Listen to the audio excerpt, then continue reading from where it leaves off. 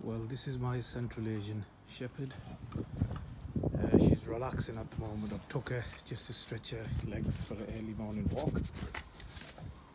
And uh, yeah, I hate it when she when she does that. She shakes the slavery in my leg. But as you can see, her head is there where my waist is, and I'm six foot two. So she's currently 32 inches to the shoulder and uh, she's only 13 months of age. Uh, she was imported from Romania.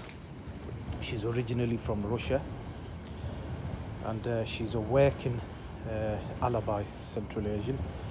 Uh, as you can see by her physique, she's slightly leaner because the working stuff have to be leaner, quicker, lighter on the feet but at the same time they have that size and strength as well you can see by her height uh, what can I say? Uh, there's a lot of misconceptions about these breeds. You know that they're they're aggressive and they're killers. They're actually very friendly towards people. Their family, they're very loving. They're good with children.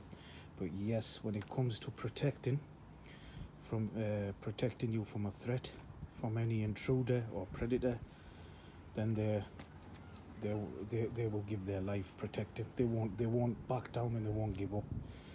Hence the nickname they were given in Russia, Volkodav. Volkodav is a Russian word meaning wolf challenger, wolf crusher. And they earned this nickname purely for their heart and determination, not giving up. And uh, that's another misconception. People think Volkodav is a different breed to an Alabai. It's actually Central Asian Shepherd and uh, it was given the nickname Volkodav and they go by many other names as well like Alabai, Azir, uh, Caucasian Shepherd. Uh, she loves a, a belly. She loves getting stroked on her belly.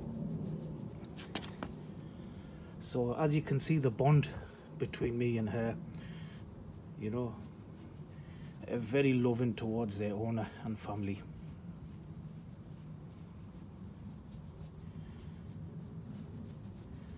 So just basically here you can watch her grow into a lovely